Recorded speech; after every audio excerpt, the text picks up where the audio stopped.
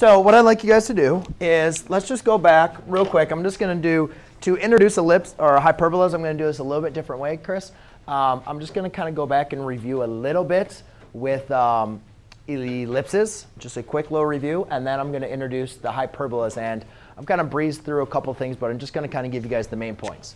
So the first thing when we're talking about ellipses is the main important thing is we had a major axis. And our major axis was either, either horizontal or it was vertical. And that was the, like the major thing that we needed to find.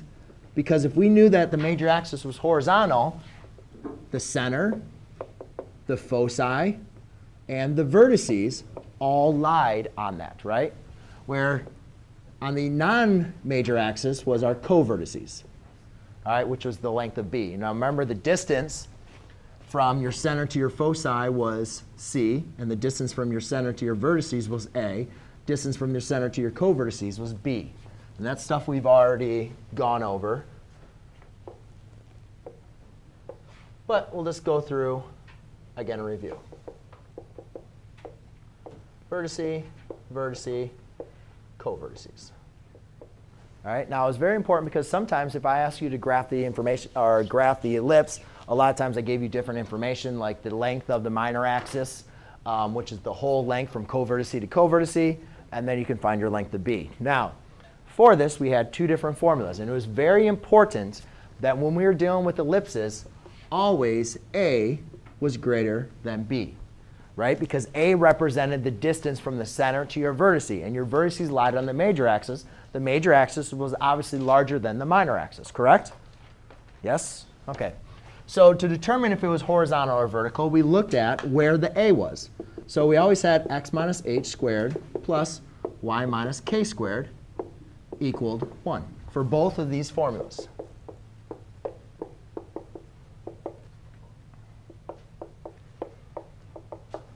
And then to determine if it was horizontal, remember the a squared was always under the x, and the b squared was under the y.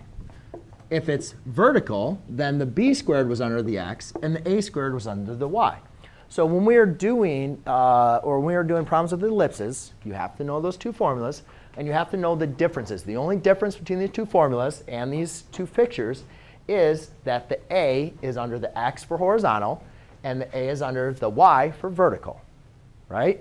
And a was always larger than b, because that represented the distance from of your, or your distance from your center to your vertice, okay? All right. The other thing that was very important about this was a lot of times we were given the value of a and b, and we needed to find c. Or sometimes we were given the value of c, and we needed an a, and we needed to find b. So we came up with c squared equals a squared minus b squared.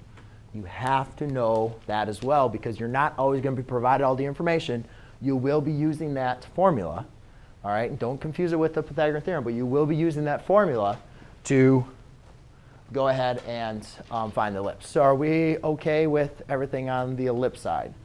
I know there's obviously graphing and stuff like that, but that's at least the general information. OK? Now, the main, major important thing about this is notice how the foci are in, inside the ellipse, right? Your kind of parabolas or your conic sections now are focusing towards your focus. So what we're going to go over today is now what happens if we take the foci and put them on the outside of the vertices. And that's exactly what we're going to do. We're still going to have major and minor axes, which we're going to call a different name. But now what I'm going to do is I'm going to put the foci outside. So that's still going to be our center. Here will be our vertices. And now we're going to put the foci on the outside. So when we're creating these, these are what we call our hyperbolas. All right, and there's a couple different characteristics of the hyperbolas that we have to make sure we're aware of. All right. Now, first of all, we still have horizontal and vertical. I kept them kind of the same. But rather than calling them major axes, now what we call them, oh, I forgot to do this one, is a transverse axis. So if I say the transverse axis is horizontal, you know that the hyperbola is going to be opening left and right. If I say the transverse axis is vertical, you know that the hyperbola is going to be opening up and down. Very similar to the major axis, all right? But we call it the transverse axis for hyperbolas. Um, as far as the distance for your center to your vertice, I'm going to do these in a different color, it's the same as the ellipse. That's not working. From your center to your vertice is still A. From your center to your foci is still C. And we'll have B up here, which are going to be some points that we are going to use. So what was nice about the B for ellipse is that was your covertices, right? And that helped you graph actually what the ellipse was. We don't graph, we don't plot the points P, B, but we're going to use them to graph our asymptotes, which we are going to encase. So the value to your um, covertices is still going to be B. All right? So that's the same for the other one. I'm just going to save a little time and only do it on one. All right? Now, here's where it gets a little bit confusing that I have to make sure I'm very, very clear with you on. When we were talking about ellipse, we always had A was greater than B. And to determine if the major axis was horizontal or vertical, we just looked at where A was, correct?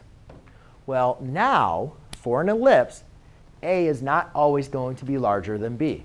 Sometimes it will be, Sometimes it won't. So we have to be very careful with this. But what I want you guys to understand is these formulas always, for an ellipse, it's always a squared, your minus your b squared.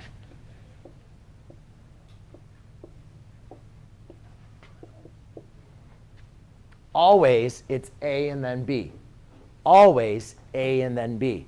All right? So when you're provided an ellipse, and you guys can easily identify an ellipse, by noticing these are subtraction, right? Instead of adding the two, they're subtraction. So when you see a subtraction, you know you're talking dealing with a hyperbola. And when you're dealing with a hyperbola, it's always a squared minus b squared. All right? So therefore, it's very easy to identify the a, right? It's just always in front, and then there's the b squared. So don't look at, because sometimes we'll have something where the b is larger than the a. So don't confuse that saying, oh, since the larger number has to be a. That is only working with the ellipse. Here, it's always a squared minus b squared. Now, when your x-coordinate of your center is over the a, though, just like an ellipse, you're going to have a horizontal hyperbola, or horizontal transverse axis. Then, if my, um, my x-coordinate of my center is over the b, then it will be a vertical transverse axis.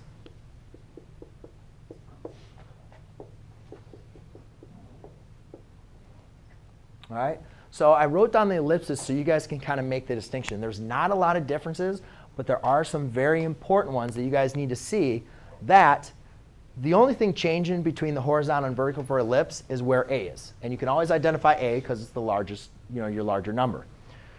For the differences between the hyperbolas, the only difference is the x and the y coordinates. And when your x is over the A, it's, it's horizontal.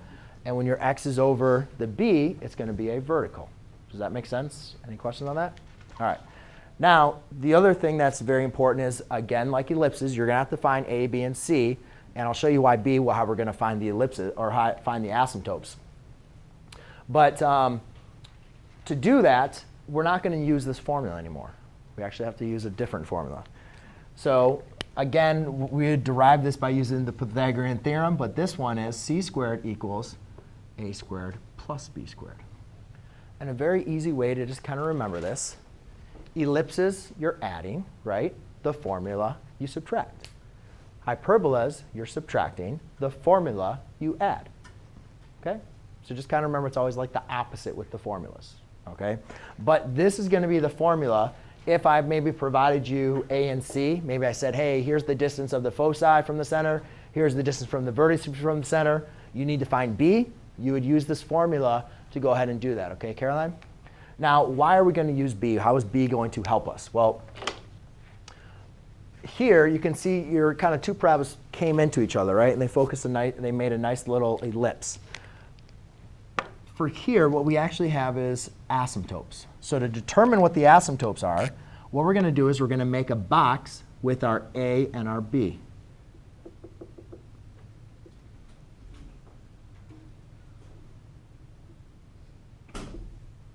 And I'll provide you guys with the formulas to actually find this as well. But the easiest way to graph the asymptotes is determine what A and B is and to create a little box. Does everybody kind of see those boxes? I know it's in orange, so it's kind of faint. Um, so now to create the asymptotes, that's where, the, that's where your um, hyperbolas are going to approach. Now we just go from corner to corner, and we've created our asymptotes.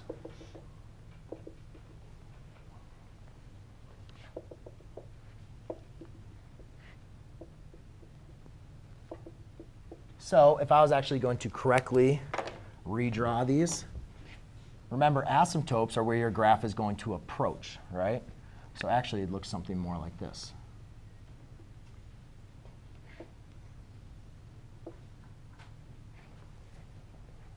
All right, because your asymptotes, your, that's where your parabolas are approaching. All right, and um, if I had, see if I can remember. I don't remember horizontals be over A. OK, I forgot the formulas. But if you want to know the actual formulas of how to find that, y equals k plus or minus b over a times x minus h. And the formula for this asymptote is y equals k plus or minus a over b times x minus h. All right, so the differences, ladies and gentlemen, from a hyperbola to an ellipse, it's all the same as far as center, foci, and vertices. The only difference is now, your foci is going to be outside of your vertices. All right? We are going to have to find the value of b when you're graphing to, to apply the asymptotes. Or you could also simply use this equation and then graph it using, you know, write it then in slope-intercept form, and then actually graph the asymptotes. And the other difference is the formulas are going to be different. But besides that, the type of problems that you guys are going to have for your test and on your homework are going to be all exactly the same. Is there any last questions? Anybody wants me to go over with this. But as far as doing the problems and setting it up, it's this exact same thing as what we did with ellipses. Just a little bit differences in the graphs and the equations. Nothing. Chris, you didn't take any notes. Why didn't you take any notes? Got it?